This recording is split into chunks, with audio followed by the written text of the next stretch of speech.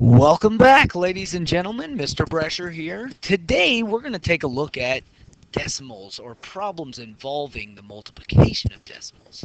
And by the end of this uh, lesson, you will be able to estimate or use estimation to make sure that your answer is reasonable in a decimal problem.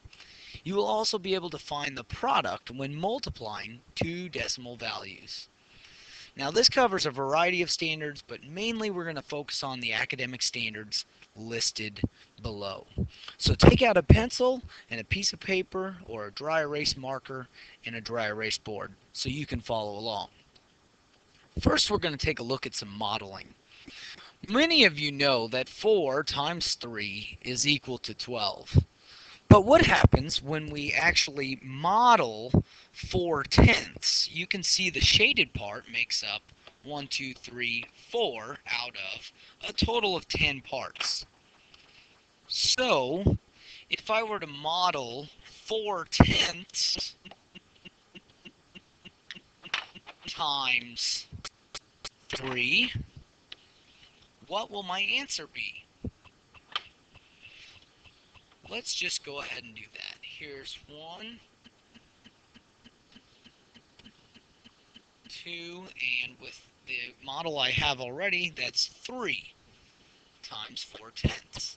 Now if we make these into individual parts, I can actually move them over so we can see that now I have six tenths here, seven tenths, eight tenths, and I'll do the same to this one. So we can see again I have 9 tenths 10 tenths which is a whole and there are two more remaining. So I have 1 and 2 tenths. So 4 tenths times 3 is actually equal to 1 and 2 tenths. Notice the similarities. 4 times 3 equals 12, and here we have 4 tenths times 3 equals 1 and 2 tenths. See if you can make the connection when we look at this next example. Here we have a model of 4 tenths again. And over here in blue we have a model of 7 tenths. Now we know that 4 times 7 is equal to 28. But what happens when we have 4 tenths times 7 tenths? If you could imagine this as a rectangle, and we have an area over here of 7 tenths, and on this figure, we have an area of 4 tenths. When we combine them, we can see that it divides this new figure up into hundredths, in which each square is one hundredth. And if I go through and count them, I have 7 going across, and then again, I have over here four rows. So 4 times 7 is 28. However, this is representing 28 hundredths. So my decimal would actually be right here. That's what's actually taking place when we multiply decimals. Now let's move on to some more examples. When we look at this example, right here, we have 14 and 8 tenths times 3. Now, if I move it and put them to where they are vertical, we can see that I do not have to line up my decimal. This is not like addition and subtraction where the decimals line up. In multiplication, you simply multiply just as if they were whole numbers. So we're going to kind of imagine that the decimal is not even in place on this particular page. Now it reads 148 times 3. 3 times 8 is 24. And I carry my 2. 3 times 4 is 12 plus 2 is 14. Carry my 1. 3 times 1 is 3 plus 1 is 4. Look at that, three fours. Now, when I need to determine where my decimal goes, I'm going to go back to the white screen. I can see in this number there is one place behind the decimal. And in this number down here, there are zero places behind the decimal. This tells me that in my answer, I should have a total of 1 plus 0 places, which is 1. So I'm going to take a decimal right here, and I'm going to move it one place to the left, one place over. My answer is 44 and 4 tenths. Now, you could also use estimation to help you out. 14 and 8 tenths is about 15. And 15 times 3 is actually equal to 45. Is 45 pretty close to 44? And 4 tenths? Yes, it is. So I know my answer is reasonable. That doesn't tell me I have the uh, exact correct answer, but it does give me a good idea that I have a reasonable answer. Now, what would happen if I had another decimal place? Maybe a decimal right here. Can you figure it out? That's right. You would just put one more over to the side. And now we have a total of two decimal places in my two factors, which means my decimal in my answer would have to move over two places. One, two. And what if we moved a decimal over here and added another zero? It keeps going. There's a pattern in which the number of place values behind the decimal in your two factors, these two numbers, you add them up and that will tell you how many place values will be behind the decimal in your answer. So we can start here again and go one, two, three places.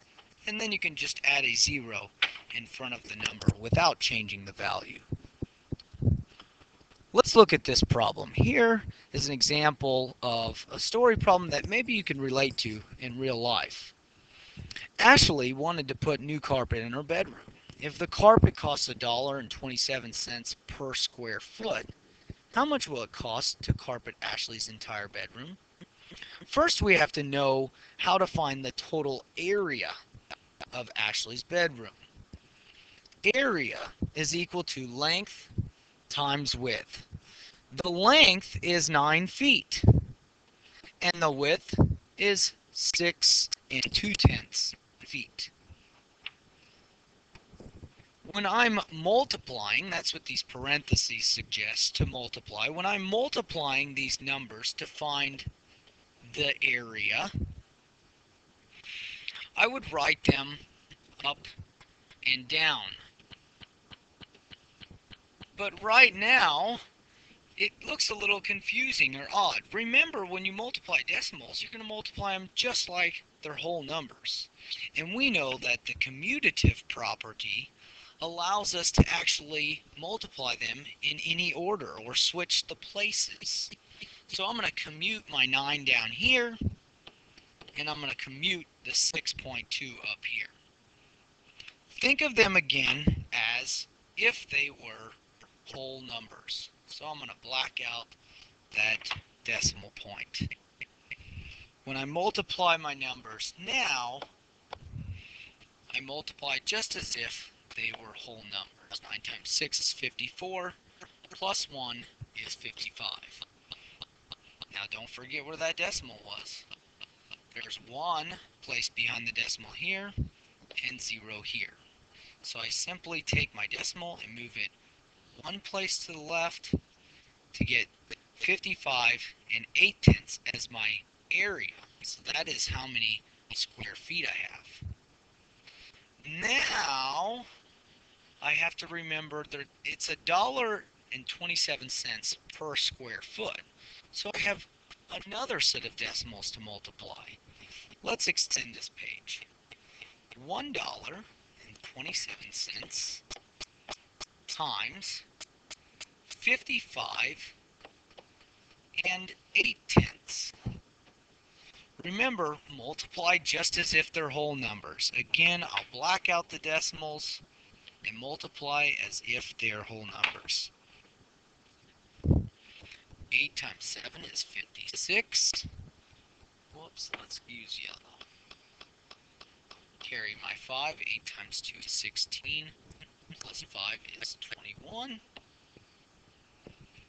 8 times 1 is 8. Plus 2 is 10. And then I go on to my next number. 5 times 7 is 35. Carry my 3. If you want, you can erase the numbers that you had carried in the previous round. 5 times 2 is 10, plus 3 is 13. 5 times 1 is 5, plus 1 is 6. And now, since I'm in the hundreds place, I'm going to drop down two zeros, or write the numbers directly below the 5. 5 times 7 again is 35, so I will carry that 3 once again. 5 times 2 is 10, plus 3 is 13. Carry the 1 again. And 5 times 1 is 5, plus 1 is 6.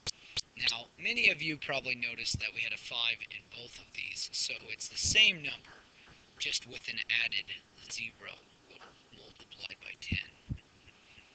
Now when I add these together, I get my final answer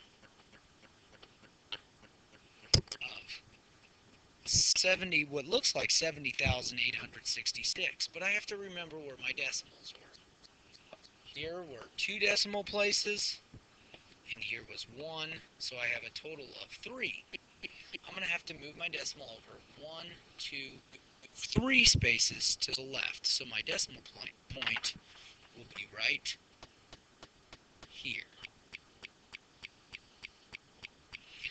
The answer is $70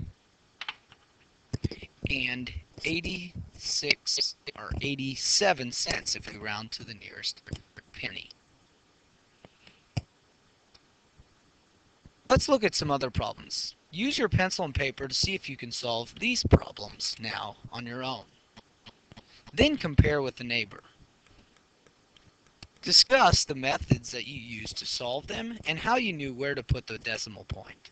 Well, I hope this helped you out. See ya!